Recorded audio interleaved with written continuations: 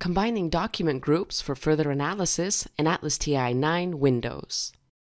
You can combine document groups in the Document Manager and save the results as so-called smart groups.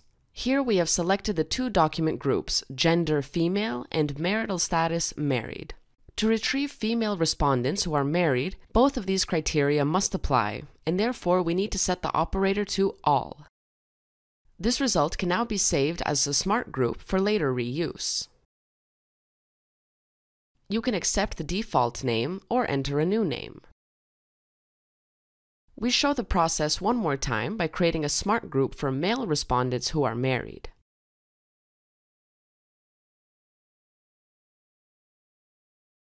By the way, smart groups are smart because they update themselves.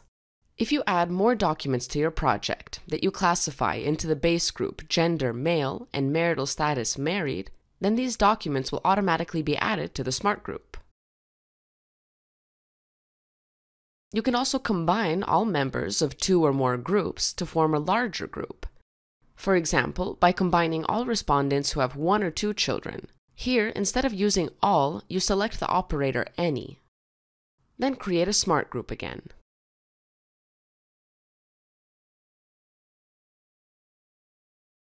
You can also use smart groups to build other smart groups. Here we combine the group educational level university degree with the newly created smart group having one or two children.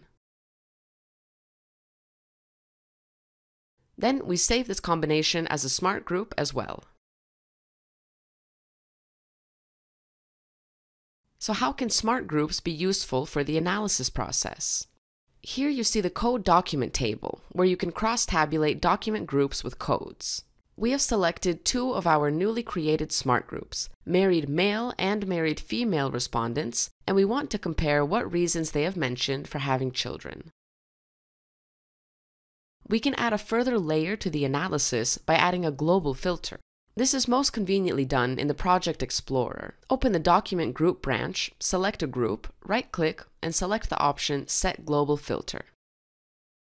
The results in the table change accordingly.